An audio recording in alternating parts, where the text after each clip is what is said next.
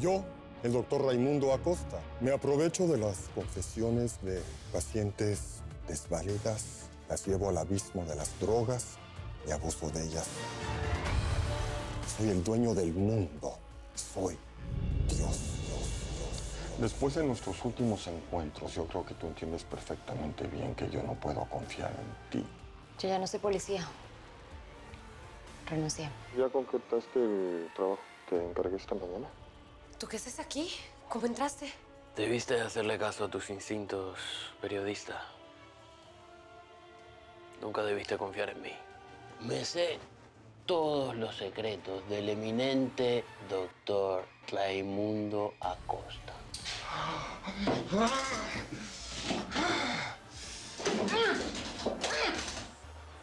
Raimundo Acosta, eres un demente criminal. Pero la muerte de mi hija no va a quedar impune. La vas a pagar. Te juro que la vas a pagar. pagar, pagar. Demente criminal. Según un estudio que hizo nuestra Fundación Pro Mujeres en defensa de la mujer, la tasa de violencia en contra del género ha aumentado en un 20% en el estado de la Florida. Esa mujer nos puede ayudar. La, la- la tengo que contactar. ¿Qué hago? Bueno, tu amiga Laura te puede ayudar. Va a estar invitada mañana a su programa, ¿no? Sí, sí, sí. Y tengo que aprovechar. Es que tenemos que reunir a todas las mujeres que nos puedan ayudar. Tenemos que protestar. No nos podemos quedar calladas. Mientras más seamos, más rápido nos van a escuchar. De hecho, hay que hablarle a la señora Enrica. Ella dijo que te iba a apoyar. Sí, sí, sí. La mamá de Juan Pedro. Estoy segura de que nos va a ayudar y, y tenemos que lograr que todas las mujeres se comprometan en esta causa contra Raimundo. Y vas a ver que vamos a protestar por las redes sociales y nos va a ir muy bien. Y mañana son las elecciones. Sí, con mayor razón. Es el día perfecto. Ese asesino no puede llegar al Senado. Ajá. El doctor encendió la computadora. ¿Y eso qué quiere decir? Es una máquina diferente a la que revisamos en el allanamiento. Ya voy a bajar todos los archivos que hay, empezando por una carpeta con 1200 fotos. ¿Fotos de qué? Pero esas son... Pacientes. Unas a medio vestir, otras desnudas, posiblemente sedadas o indefensas. posiblemente abusadas.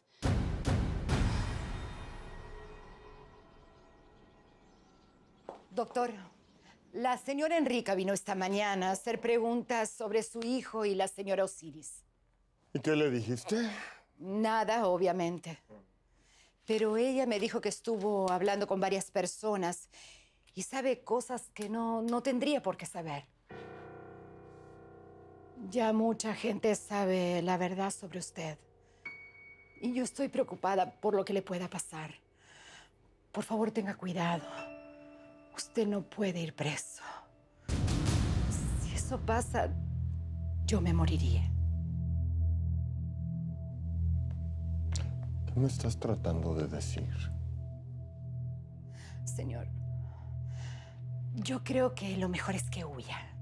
Yo lo puedo ayudar, estar a su lado, huir con usted, si me lo permite. Pero tú te volviste loca. No te metas en mis asuntos. Son muchísimas mujeres. Eh, espera, René, ¿esa es Alicia? Raimundo Acosta sí abusó de ella, como dijo su mamá. Las tiene separadas en carpetas, una para cada víctima. Fernanda, Hortensia, Paloma, Josefina, Xiomara, Salomé. Salomé es la esposa del gobernador. Esto es realmente grave y comprometedor. Solo hay un problema. Estas pruebas no tienen suficiente contundencia. ¿Cómo que no? ¿Qué más necesitas ver de este violador? René supo hacer muy bien las cosas. No aparece en ninguna de las fotos. Puede alegar que cualquiera las tomó en su consultorio. Desgraciado. Igual esto lo tiene que saber Omar. Mañana primera hora se lo tenemos que decir. Por favor, René, prepara el reporte e imprime todo ese archivo. Si este tipo hacía todo esto con sus pacientes, ¿qué habrá hecho con Gabriela? La tengo que ir a ver ahora mismo.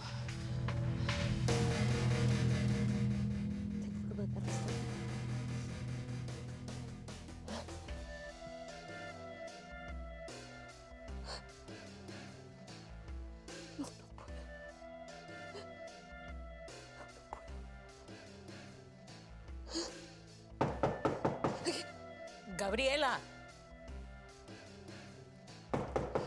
Eh, Gaby. Gaby, ábreme.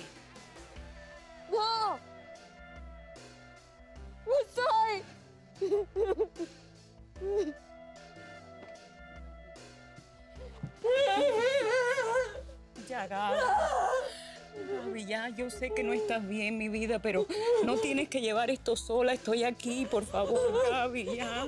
Ya, niña, ya. Ya, ya, ya, yo sé que fue mi culpa, ya.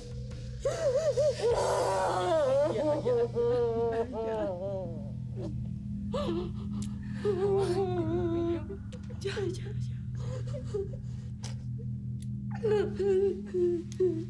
Tanto que lo cuidé. Tan fiel que le fui.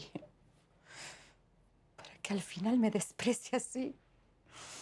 Maldito Raimundo. ¿Qué estás diciendo, Amanda? Yo no merezco este rechazo, doctor. Yo lo hice todo por usted, por el amor que sentía. Pero ya sé cuál es su respuesta. Amanda, entiende. ¿Cómo podía yo saber eso? ¿Mm? ¿Cómo podía yo saber que lo que tú hacías por mí lo hacías por amor? ¿Cómo pude ser tan ciego? ¿Cómo podría yo alejar a mi más fiel dama?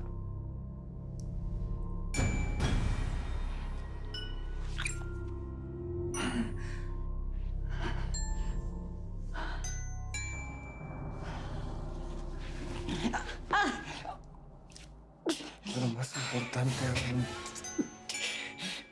¿cómo te podría dejar ir con vida? Sabiendo todo lo que sabes de mí.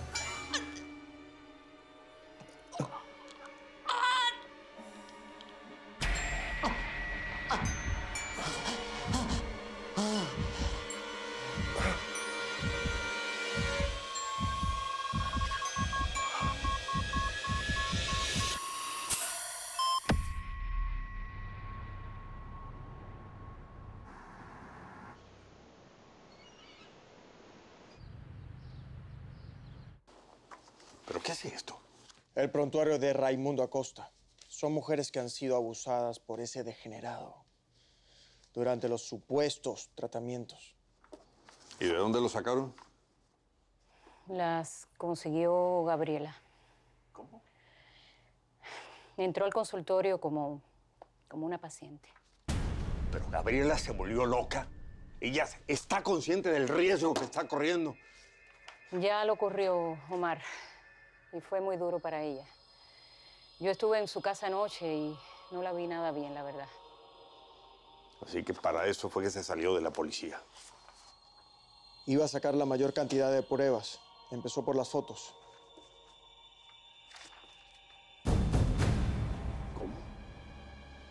Sí, Omar. Esa foto es una de las más comprometedoras. La esposa del gobernador. Él tiene que saber esto. Pero hoy es el día de las elecciones. Precisamente por eso. Esto tenemos que decírselo a Julio. Ya deben estar por liberarlo. Hoy mismo le deben dar la orden. Voy a llevarle comida. Y yo voy a volver a llamar a Gabriela. Quiero estar segura de que está bien. ¿Quieres que vayamos a verla? No, no, no, no, no. René, ella no quiere ver a nadie. Anoche me dejó muy preocupada. A esa muchacha la vamos a tener que apoyar mucho. Yo voy a ir después que hablemos con Julio. Gracias. Eh, Laura, tú que tienes más acceso a ese tipo de información, ¿tú crees que podemos contactar a la directora de la Fundación Pro Mujeres? La señora se llama Magdalena Almada, si no me equivoco. Sí, es ella. Ayer me adelanté y se lo mencioné. No me digas. Sí, me parece muy buena idea. A través de su fundación vas a poder recibir muchísimo apoyo. Gracias, gracias, gracias. Estoy segura que, que esto va a salir muy bien. Te admiro mucho. Eres una mujer muy valiente, con mucha fuerza. Me imagino que ya sabes por qué esta rata está aquí. No. Al parecer, Pinzón sabe algo de Acosta y por eso lo encerraron.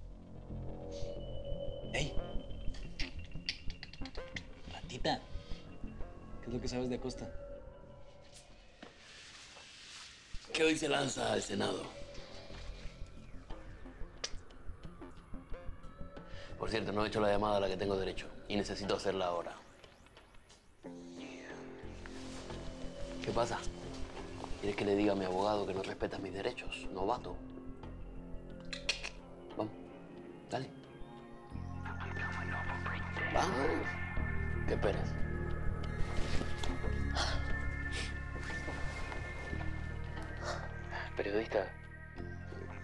Solo llamé para saber cómo estabas.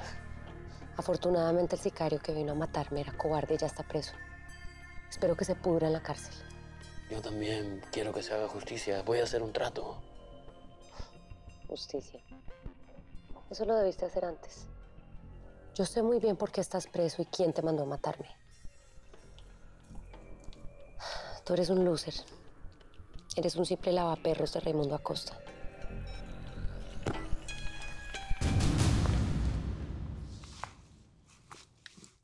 Señoras y señores, a tan solo unas pocas horas de comenzar la jornada electoral, me acompaña en el estudio Verónica García. Bienvenida. Gracias. Es la valiente madre de Alicia Zelaya, quien todos ustedes conocen por haberse convertido en la víctima de uno de los crímenes más sonados de los últimos tiempos. Pero también porque la muerte de Alicia ha quedado impune en un juicio sin precedentes por su incomprensible veredicto. Raimundo Acosta, inocente.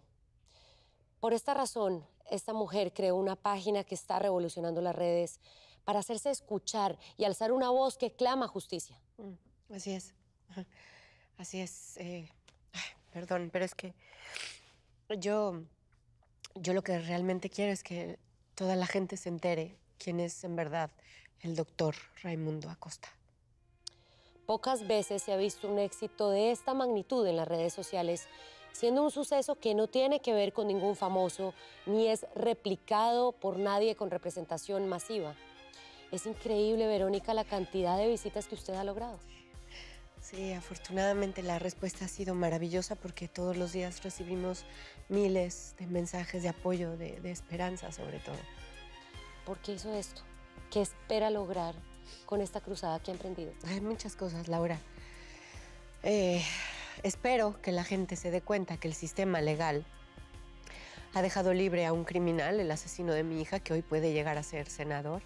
Es un hombre que va a redactar leyes para seguir asesinando impunemente. Eso es lo que quiero que, se dé a conocer. Espero que la gente hoy tome una decisión y me concedan un poco de la justicia que me fue negada. ¿Qué estás haciendo, Laura? Tú ya deberías estar muerta.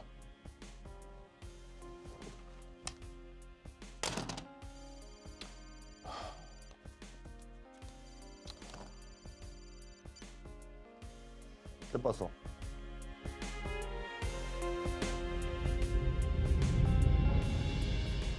Aún no, Joseph.